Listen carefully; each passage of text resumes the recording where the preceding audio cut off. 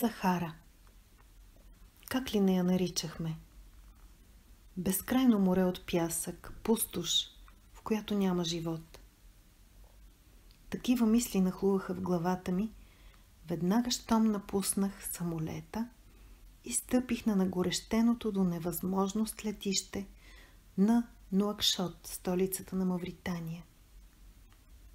Тези мисли не ме напуснаха, дори когато наблюдавах играта на вълните на брега на океана.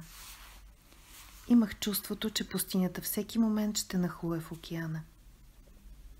Отдаде ми се възможност да посетя оазиса Айн Бентили. Това е един от няколкото известни центрове на човешка дейност в близост до границата с Западна Сахара и Алжир. За първи път там наблюдавах живота на туарегите. В периферията на оазиса се бяха настанили туареги с стадата си. Отдалеч се червенееха колибите им, направени от сурови кожи. Това са хора с светъл цвят, издънка на берберите, които говорят и езика им. Арабите, техни неизменни врагове в миналото, са ги нарекли изгубени души, което в превод е точно туарек.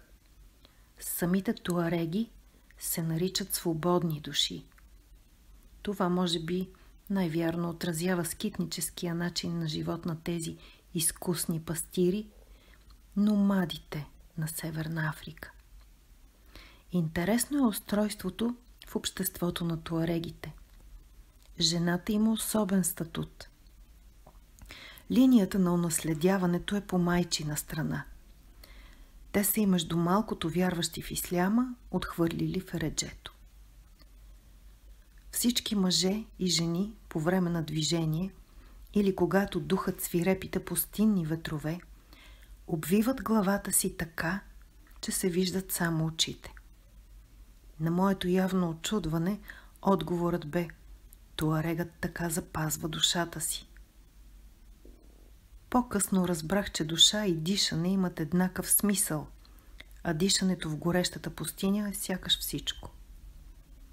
Сухият и силно нагорещен въздух и бурният, наситен с пясък вятър, причиняват сериозни заболявания на дихателните пътища. Памучната материя около устата и носа е нещо като климатична инсталация. Съхранява влагата в устата и носовата част. Предпазва лицето от вятъра и пясъка. Особено интересни са жените. Кожата на лицето им е изящна, бледа, а чертите им са неочаквано приятни. Те носеха дълги сребърни обеци, тежки сребърни гривни и нещо наподобяващо гривна над глезените на краката. Около врата им на кожени връзки висяха амулети. Трудно можех да повярвам, че тези мирни хора някога са тероризирали всичко живо в пустинята. Ограбвали, вземали роби, убивали. Пътуващите с дългите пустинни кервани изпитвали ужас от появата на туареги, които били точни стрелци – опитни ездачи и притежавали най-бързите камили в Сахара. Според преданието, така е било до към края на 19 век. Днес туарегът е отличен пастир, типичен скитник в пустинята. Приятно е да се наблюдава туарег върху камила. Той балансира с лекота върху майсторски изработеното, с богати орнаменти седло от дърво и кожа. Екипировката му се състои от навито на руло одеяло, пушка, турба с зърно за камилата и дълъг кожен камшик. Всичко е в тон с изящната фигура, пъргавата походка и духа на туарега. Впечатление правят сандалите им. Те са с една каишка – която е между големия и втория пръст на крака, а широка подметка от дебела, сурова кожа осигурява добра изолация. Широчината на сандала им позволява да се движат с лекота по финия пясък, а дебелата подметка предпазва от охапвания от скорпиони и наранявания. Ако туарегът получи дълбока рана на крака, той я зашива с игла и конец. Раните рядко загнояват. Палещите лъчи на слънцето възпрепятстват развитието на всякакви бактерии.